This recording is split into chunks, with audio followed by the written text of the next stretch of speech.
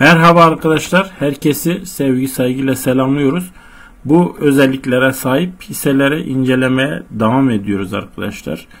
E, mümkün olduğunca e, değişik sektörlerden portföy yapıyoruz ki ileride sorun olmasın arkadaşlar. Şekilada gördüğünüz gibi kriz dönemlerinde hisse alınır diyoruz. Krizlerde alan zengin olur. Gelip tepeden alanlar fakir olur arkadaşlar. Borsa düşerken alacaksınız. Tabi düşen bıçak tutulmaz. Düştükten sonra yerden alınır. Değil mi? Burada da düşüş bakın 54 lira. 54 liradan nereye gelmiş? 27 lira. Yani artık buralar dip arkadaşlar. Yani 25 ile şu an kapanış 20 kaç lira? 28 lira. 25-28 arası alınır bu.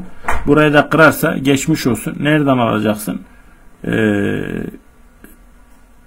22 onun altında kötü 13 lira. O kadar düşer mi? Ee, olabilir. Dünyanın sonu gelmişse kapanabilir tahtası. Düşmez demiyoruz ama ben e, şu arada toplanabileceğini düşünüyorum. 25 lirayla 28 lira arasında. Neden düşünüyorum?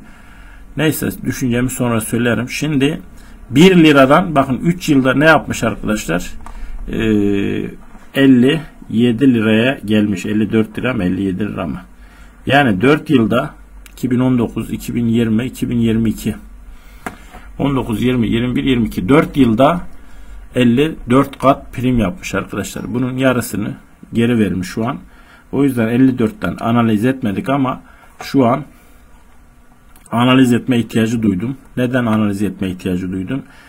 Ee, endeks 50'de olsun seçtiğimiz hisseler diyoruz ve e, potansiyel olsun. Peki bunun ne potansiyeli var? Bunun arkadaşlar e,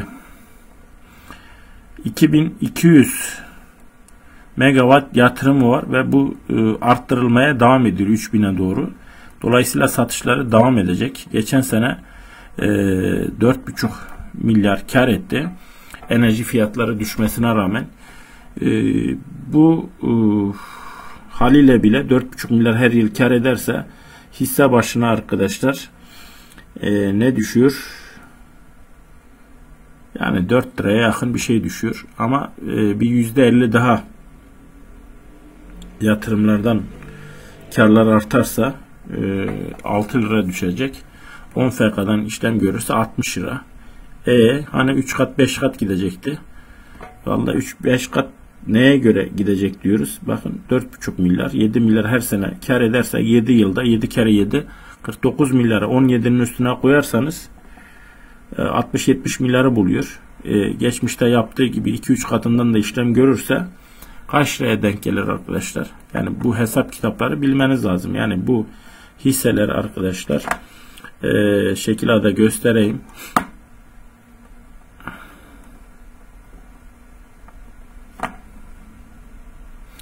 Yani rüzgarı arkasına aldıktan sonra işte P'de şu an 2 ya mesela P'de nereye kadar gitmiş? 8 katına kadar gitmiş. Mesela FK nereye kadar gitmiş?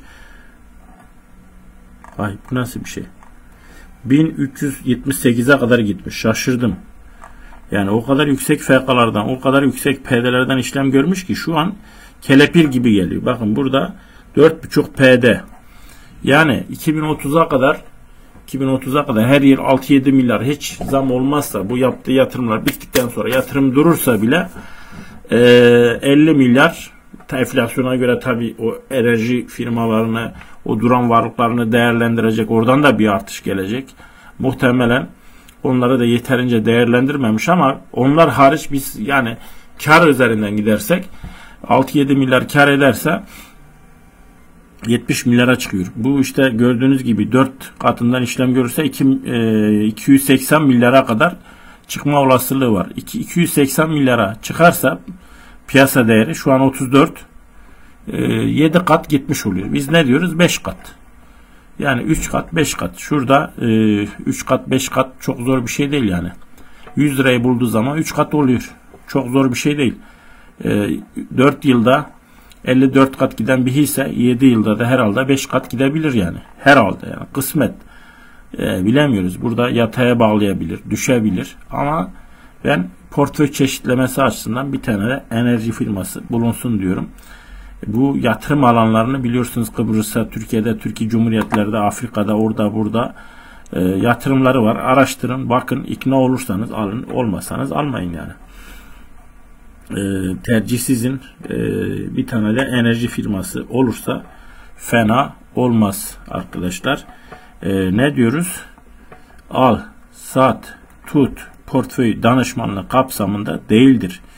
Enerji işte böyle arkasından rüzgar estiği zaman e, 1 liradan 56 liraya 57 liraya 54 liraya neyse gidebiliyor.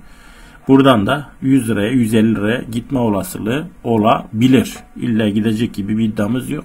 İddiamız neydi? 3 kat 5 kat giderse birleşik getiriyle milyoner olmak. Yaşayıp göreceğiz 2030'a kadar. Bu videoları silmiyoruz zaten. Başarılı da olsa, başarısız da olsa silmiyoruz. Yaşayıp göreceğiz.